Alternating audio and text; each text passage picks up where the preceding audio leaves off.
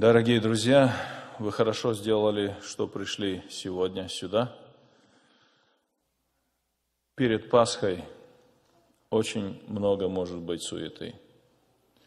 Нужно приготовиться, нужно собраться, нужно еду приготовить и все остальное. Но сегодня было бы очень хорошо, чтобы мы с вами подумали об Иисусе и о том, что Он пережил в пятницу, в тот далекий день, когда Он умирал на кресте.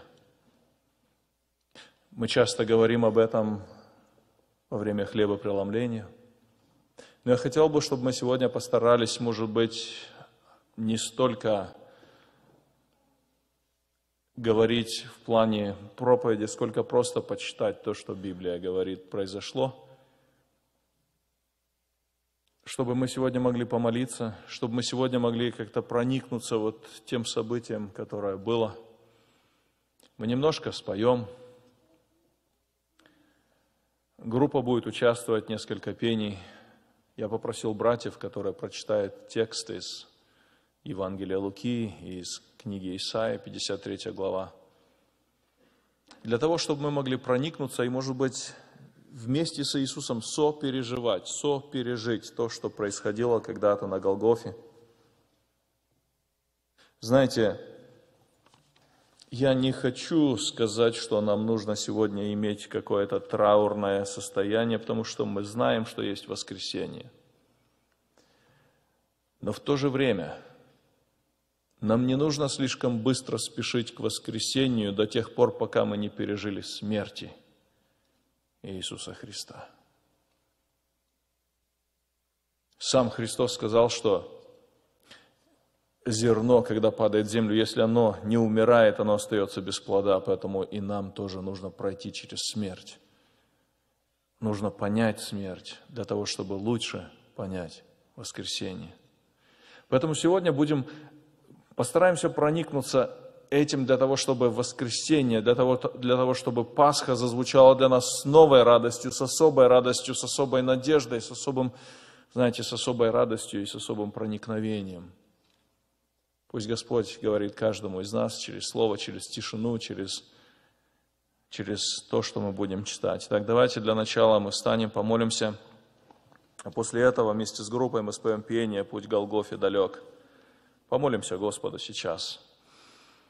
Наш Господь, мы собрались здесь сегодня, на этом месте. Мы благодарим Тебя, Господи, за то, что было время, когда Ты пришел на эту грешную землю для того, чтобы искупить всех людей, для того, чтобы пострадать за всех людей, для того, чтобы каждому поверившему в Тебя, принявшему Тебя, была возможность иметь жизнь, жизнь вечную.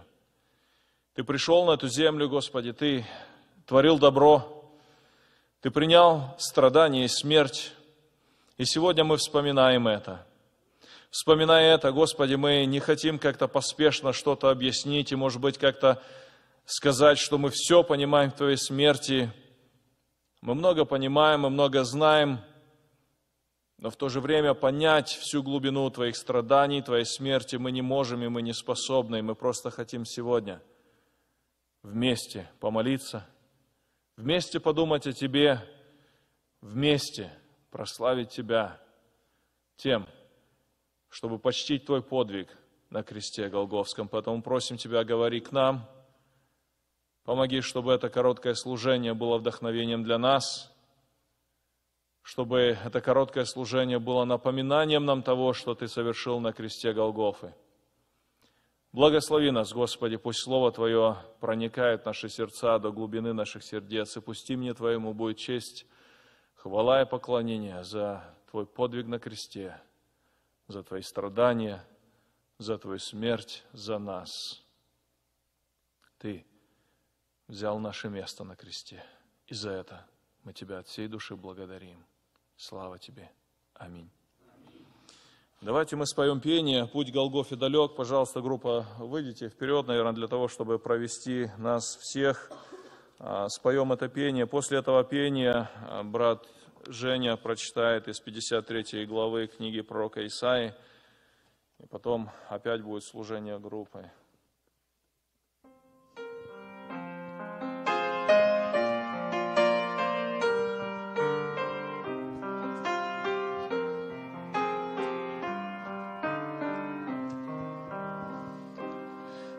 Путь Голгофы далек, кровь стекает из ран, Сколько мук и страданий во взоре.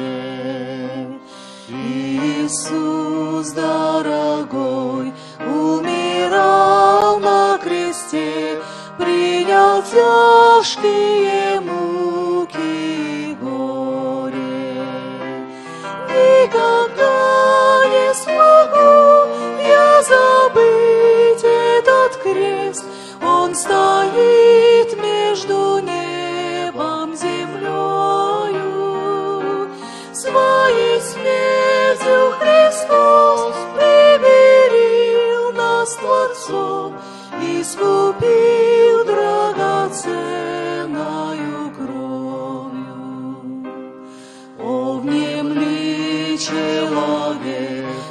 глазу песни моей, что ты медлишь, мой друг, что ты ждешь,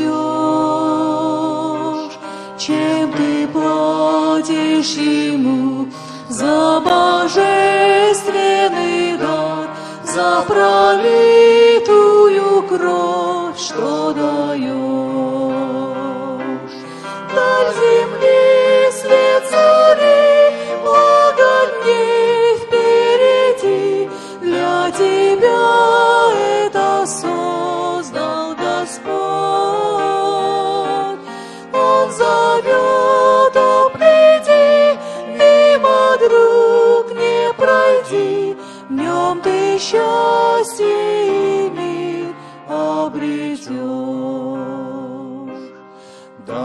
Господь, мне понять тайну вечной любви, той, что Ты к нам на землю принес.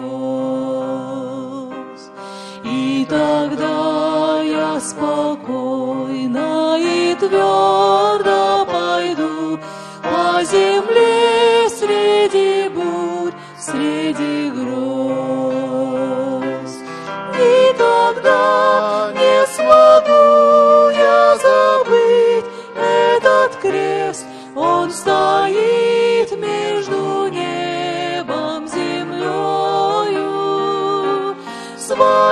смертью Христос примирил нас Творцом, искупил драгоценною кровью.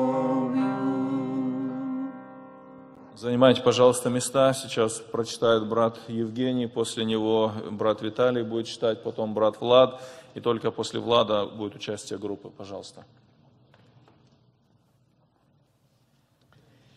53 глава пророка Исаии.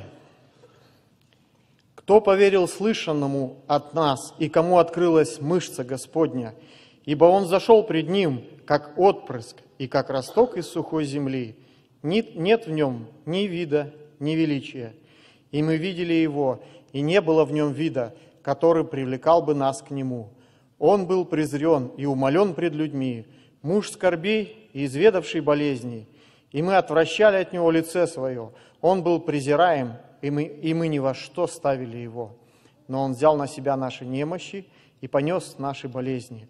А мы думали, что он был поражаем, наказуем и уничижен Богом. Но он изъя- изъязвлен был за грехи наши и мучим за беззаконие наши. Наказание мира нашего было на нем, и ранами его мы исцелились.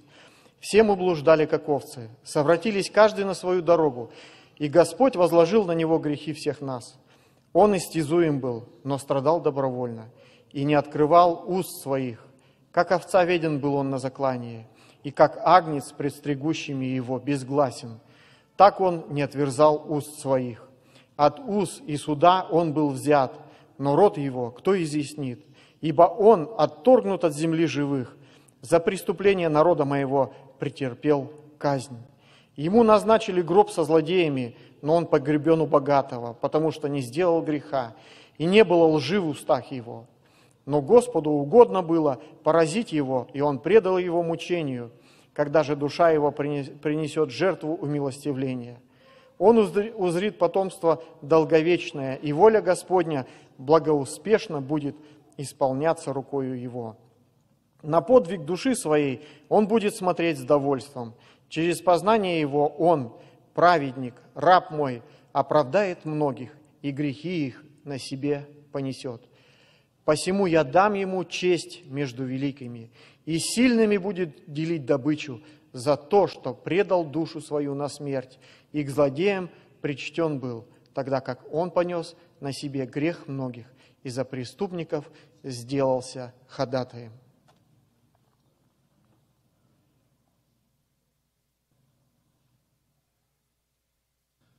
Луки, 22 глава, будем читать 63 стиха.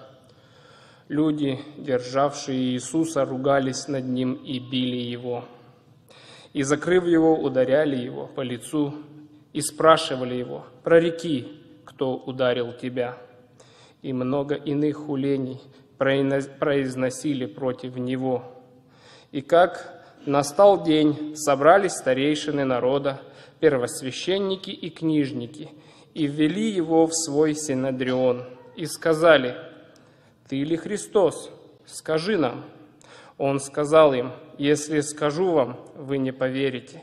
Если же и спрошу вас, не будете отвечать мне и не отпустите меня. Отныне Сын Человеческий воссядет одесную силы Божией. И сказали все, «Итак, ты Сын Божий?» Он отвечал им, «Вы говорите, что я». Они же сказали, какое еще нужно нам свидетельство, ибо мы сами слышали из уст его. И поднялось все множество их, и повели его к Пилату. И начали обвинять его, говоря, мы слышали, что он развращает народ наш и запрещает давать подать кесарю, называя себя Христом царем. Пилат спросил его, ты царь иудейский? Он сказал ему в ответ, «Ты говоришь». Пилат сказал первосвященникам и народу, «Я не нахожу никакой вины в этом человеке». Но они настаивали, говоря, что он возмущает народ, уча по всей Иудее, начиная от Галилеи и до сего места. Аминь. Луки 23 глава 6 стих. Пилат, услышав о Галилее, спросил, «Разве он галилеянин?» И узнав, что он из области Иродовой, послал его к Ироду, который в те дни был также в Иерусалиме. Ирод, увидев Иисуса, очень обрадовался, ибо давно желал видеть его, потому что много слышал о нем и надеялся увидеть от него какое-нибудь чудо. И предлагал ему многие вопросы, но он ничего не отвечал ему. Первосвященники же и книжники стояли и усиленно обвиняли его. Но Ирод со своими воинами, уничижив его и насмехавшись над ним, одел его в светлую одежду и отослал обратно к Пилату. И обратившись в тот день, Пилат и Ира с друзьями между собою, и сделались в тот день Пилат и Ира с друзьями между собою, ибо прежде были во вражде друг с другом. Пилат же, созвал первосвященников и начальников, и народ, сказал им, «Вы привели мне человека сего, как развращающего народ. И вот я при вас исследовал и не нашел человека сего виновным, ни в чем том, в чем вы обвиняете его.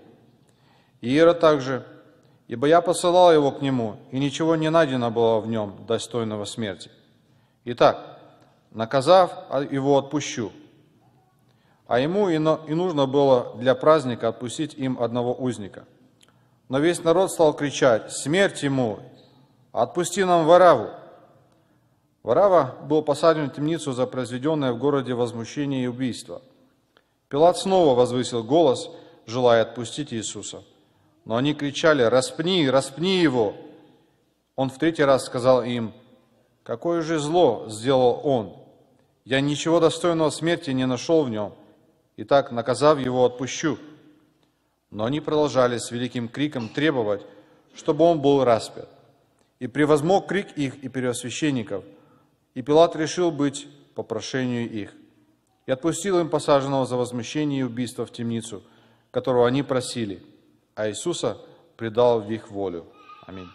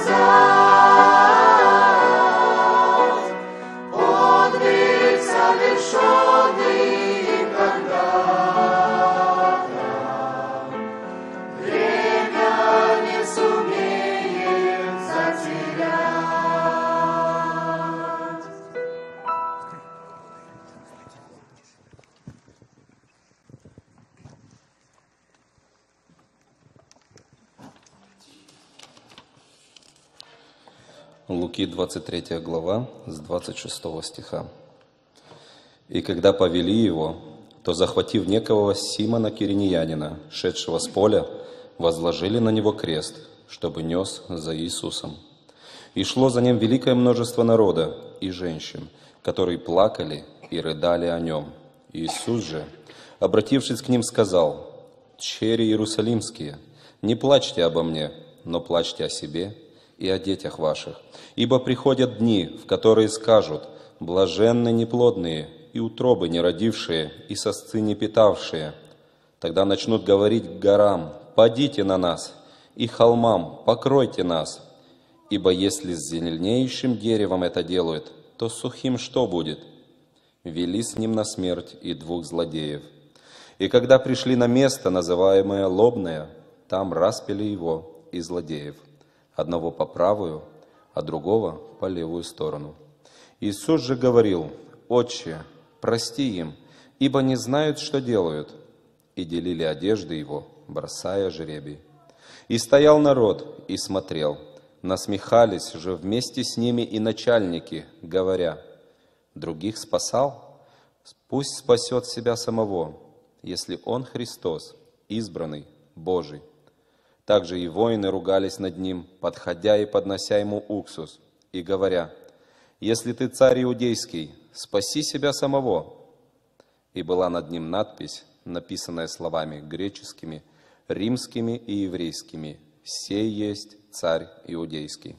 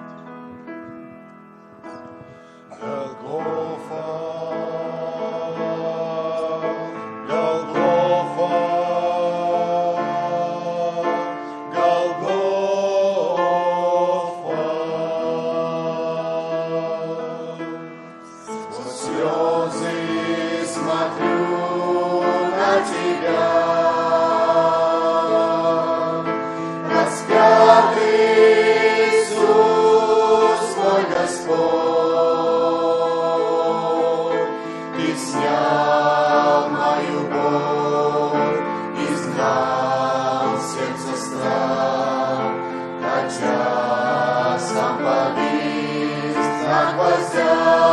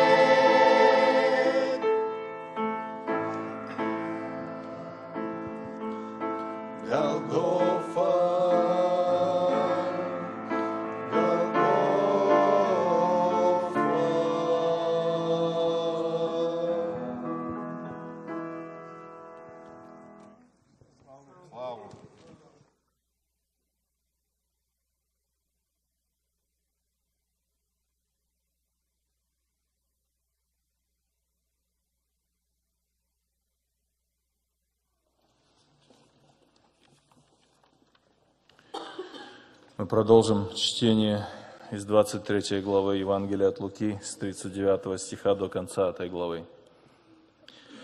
Один из повешенных злодеев злословил его и говорил, «Если ты Христос, спаси себя и нас».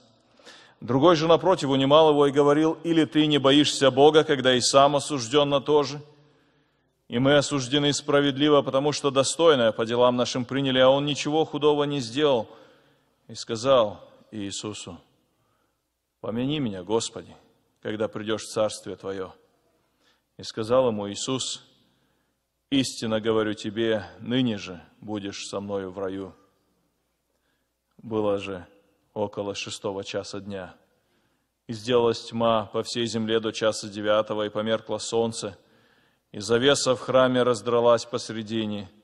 И Иисус, возгласив громким голосом, сказал, «Отче, в руки Твои предаю дух мой». И сие сказав, испустил дух. Сотник же, видев происходившее, прославил Бога и сказал, истинно, человек этот был праведник. И весь народ, сшедшийся, сшедшийся на сие зрелище, видя происходившее, возвращался, бия себя в грудь. Все же, знавшие его, и женщины, следовавшие за ними с Галилеи, стояли вдали и смотрели на это. Тогда некто именем Иосиф, член совета, человек добрый и правдивый, не участвовавший в совете и в деле их, из Аримафеи, города Иудейского, ожидавший также Царствия Божия, пришел к Пилату и просил тело Иисусова. И, сняв его, обвил плащаницей и положил его в гробе, высеченном в скале, где еще никто не был положен – День тот был пятница, и наступала суббота. Последовали также и женщины, пришедшие с Иисусом из Галилеи, и смотрели гроб, и, как полагалось, тело его.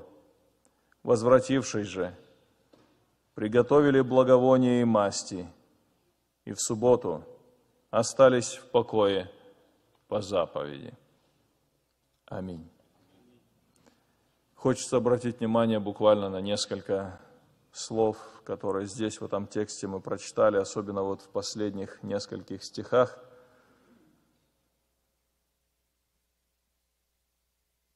Посмотрите, во-первых, на то, что из всего того множества народа, которому когда-то Иисус сделал доброе что-то, мало кто был с ним в последнюю минуту. Иисус говорил о том, что для того, чтобы по-настоящему последовать за Ним, нужно взять крест, отвергнуть себя и тогда последовать за Ним. Людям не хочется брать крест. Людям не хочется отвергнуть себя. Хочется идти за Христом в удобстве жизни – Хочется идти за Христом, когда все хорошо, когда все нормально. Когда не презирают, когда не обижают, когда за то, что ты связан со Христом, тебя не унижают. Ну а Христа казнили. И даже если кто-то чувствовал какие-то угрызения совести, может быть, мало нашлось смелых, которые могли бы там находиться – и, может быть, даже своим плачем выражать сожаление о смерти учителя. Женщины оказались такими. В их сердцах была глубокая любовь к Иисусу. И они были последними, кто уходил с Голгофы. И они будут первыми, кто придет в воскресенье к гробу. Их было немного, но у них была искренняя любовь к Господу. Да даст нам Бог научиться этому тоже. Посмотрите еще. Текст говорит о том, что день тут был пятница, сегодня пятница, похожее время. Как вы видите на этой стене, может быть, туда нам не видно за окно, но судя по этой стене, солнце заходит, солнце садится. По иудейским порядкам, по иудейским правилам, с заходом солнца наступает следующий день. По иудейскому обычаю суббота наступит не после полуночи, но с заходом солнца. То есть через полчаса, может быть. По иудейскому обычаю, по закону Ветхого Завета в субботу нельзя было что-то делать, нужно было оставаться в покое. Я хотел бы несколько минут обратить вот на вот это, на эту идею. Покой. Пятница был очень долгим днем. Наверное, самым долгим днем для Иисуса. В принципе, мы можем сказать, что после Гефсимании ему не пришлось спать. Его взяли в саду, он молился. Ученикам удалось пару часов поспать во время молитвы Иисуса, а Иисус бодрствовал, Иисус молился. Его взяли и сразу после этого отвели на допрос, там не поспишь. После допроса, после издевательств на допросе перед Синедрионом его повели дальше к начальникам римским, затем к Ироду. И все это, и все это издевательство, унижение, затем побои, очень сильные, мучительные побои. И после всего, после всего крест. Действительно, долгий, мучительный день в преддверии покоя. Пятница была действительно самым напряженным днем Иисуса. Не зря в четверг, не, не зря, ну, может быть, уже в начале пятницы, опять же, по-иудейски, если смотреть, в Гефсимании он молился. И причем, когда молился, находился в борении, в агонии по-гречески. Потому что человеческая его природа, человеческая суть Иисуса Христа, понимая то, что перед ним стоит, понимая ту всю тяжесть греха, которую ему нужно взять на себя, он томился.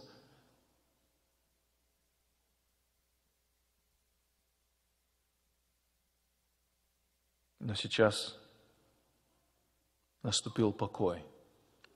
Вообще покой – это интересное понимание, тишина – Интересное слово. Вы знаете, жизнь всегда имеет звуки, жизнь всегда сопровождается звуками. Иногда это радостные звуки, иногда это приятные звуки, красивая мелодия. Первый крик ребенка. Звук любимого или любимой красивые голоса весенних птиц. Звуки могут быть очень красивыми. Но иногда звуки становятся ужасными. Крики войны и разрушений, взрывы, шум. Разрушение даже в природе производит определенный шум – это своего, своего рода какофония или неприятная такая симфония, неприятные звуки, они заставляют, может быть, содрогнуться, и тогда хочется покоя. Иисус должен был пройти сквозь шум, сквозь грохот, и можно даже сказать битву, войну пятницы – для того, чтобы наступила суббота, для того, чтобы наступил покой и полная тишина. Не только в Иерусалиме, но и на Голгофе. И для того, чтобы вместе с тем с его последним вздохом, чтобы и для людей наступила возможность иметь покой. Ведь в нашей духовной жизни мы часто раздираемы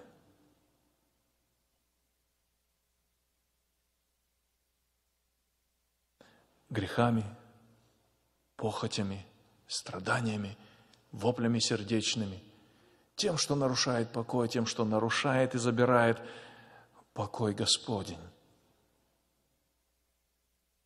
И то нарушенное блаженство, то нарушенное общение с Богом, которое было нарушено, в принципе, еще со времен Едема, Христос восстановил. Апостол Павел в одном тексте в послании к филиппийцам пишет так. Четвертая глава филиппийцам, 6-7 стих. «Не заботьтесь ни о чем, но всегда в молитве и прошении с благодарением открывайте свои желания пред Богом, и мир Божий, который превыше всякого ума соблюдет сердца ваши и помышления ваши во Христе Иисусе». Вот этот мир Божий, он доступен христианам. Он стал доступен нам благодаря тому, что Христос прошел через войну Пятницы, принял смерть. Слава Господу, что мы можем иметь покой. Покой и мир Божий даже тогда, когда мы проходим через страдания, даже тогда, когда мы проходим через боль, даже тогда, когда, может быть, нам приходится встретить, ну, давайте скажем так, смертные муки или, может быть, встретить свой крест, мы можем иметь покой. Все это благодаря Иисусу Христу. Все это благодаря Голгофе, все это благодаря тому, что Он прошел через агонию пятницы, начиная с Гефсимании, заканчивая Голговским крестом и затем гробницей. Голгофа погрузилась в тишину – еще совсем недавно толпа народа, собравшаяся на распятие своим грохотом, хохотом, издевательствами и насмешками, оглушала все пространство вокруг горы. Только иногда в паузах между возгласами и смехом можно было услышать всхлипывание женщин, оплакивавших осужденного и римскую речь воинов. Больше чем полдня Голгофа была разбужена шумом толпы, но толпа рассеялась после того, как осужденный на среднем кресте умер. Затем пришли воины, и для того, чтобы в лишний раз убедиться в смерти осужденного, они пробили копьем ему грудь, а двум другим перебили голени, после чего они умерли в течение нескольких минут. После воинов перед самым закатом солнца пришло несколько женщин и несколько мужчин, которые сняли тело умершего и аккуратно обвернув его пеленами, отнесли в гробницу неподалеку. Солнце пряталось за горизонт, и Голгофа погружалась в тишину. Тишина была очень кстати, потому что смерть и тишина всегда рядом. Жизнь производит звуки, а смерти сопутствует тишина. Наверное, поэтому люди часто в присутствии смерти стараются вести себя тихо. Для людей смерть часто представляет собой загадку – определенную тайну. Но сейчас Голгофа стала свидетелем необычной смерти. Эта смерть не просто человека, но это была смерть начальника и автора жизни. В присутствии такой смерти вся природа стихла. Эта смерть стала искуплением и освобождением того, через кого проклятие и хаос пришли на всю природу. Но при всей кажущейся понятности факта заместительной смерти Христа за грешных людей. Мы склоняемся перед глубиной любви и непостижимости смерти Творца жизни. Мы не пытаемся объяснить смерть Иисуса сегодня, мы просто принимаем ее. И через нее стараемся сами умереть для греха и умереть для себя. Самое подходящее для смерти – это тишина.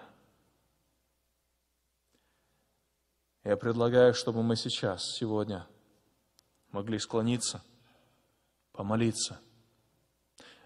В этой молитве, может быть, кто-то помолится в тишине.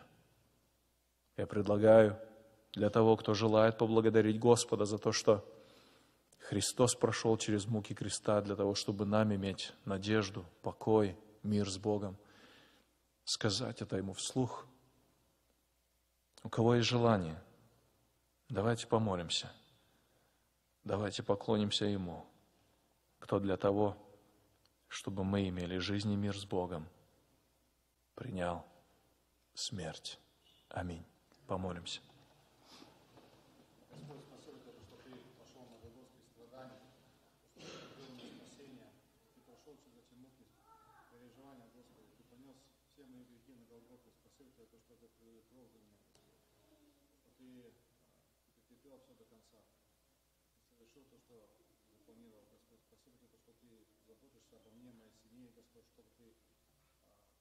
Дальше, Господи, меня благословлял. Прошу, помоги мне ходить перед Тобой свято, чисто, чтобы я был похожим на Тебя, Господи, каждый день.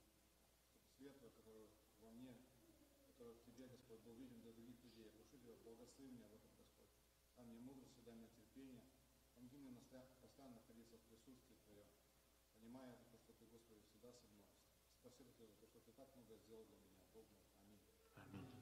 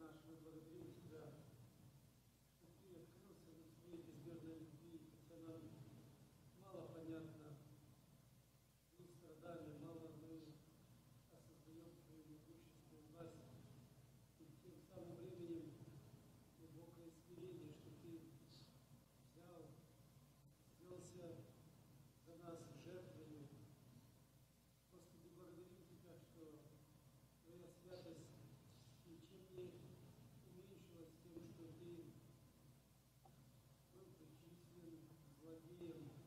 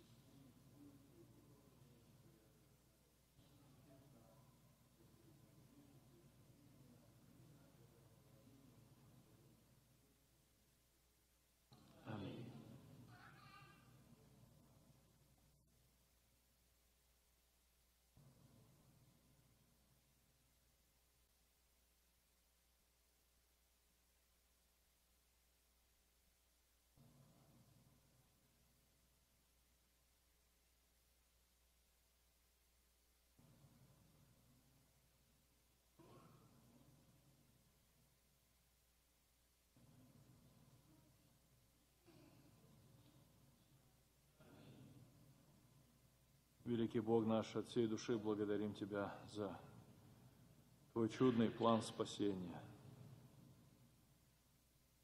за то, что Ты настолько полюбил мир, настолько полюбил каждого из нас, что отдал Сына Своего Единородного, дабы всякий верующий не погиб, но имел жизнь вечную. Слава Тебе, Господи! Слава Тебе за такую любовь, слава Тебе за такую жертву. Благодарим Тебя, Иисус, за то, что Ты принял смерть, поругание, посрамление, для того, чтобы нам дать возможность примирения, дать покой, который мы можем получить только через принятие Тебя. Помоги нам, Господи, тем, кто однажды пережил смерть для греха, помоги нам жить вот в этой смерти для греха, чтобы жить живы или быть живыми в Твоем воскресении, в жизни Твоей, чтобы для Тебя быть живыми, для греха быть мертвыми. Помоги нам, Господи, в этом. Мы благодарим Тебя за все то, что Ты нам подарил. Мы благодарим Тебя за все, что Ты совершил, Господи. Мы просто низко-низко склоняемся перед Тобой, потому что понимаем величие того, что Ты совершил. Мы до конца не можем понять тайну Твоей смерти.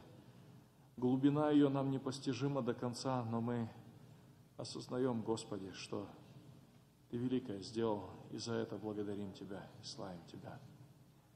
Благодарим Тебя, Господи, за тот покой, который Ты даешь. Благодарим Тебя за то, что Ты принял смерть за нас, вместо нас. Благодарим Тебя, Господи, и просим, помоги нам любить Тебя, Помоги нам до конца нашей жизни принадлежать Тебе, быть верными Твоими детьми. За все будь прославлен и возвеличен Бог, Отец, Сын и Святой Дух. Аминь.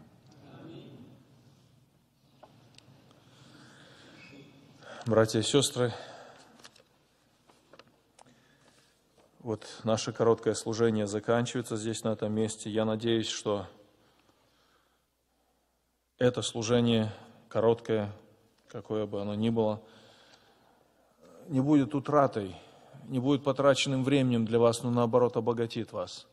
Что эта короткая пауза поможет вам как-то вот в этих праздниках все-таки знать, помнить величие Голгофы, величие подвига Иисуса Христа.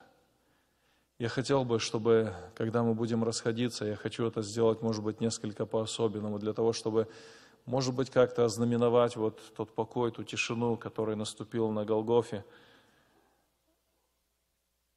Я хотел бы, чтобы мы не просто сейчас помолились и разошлись,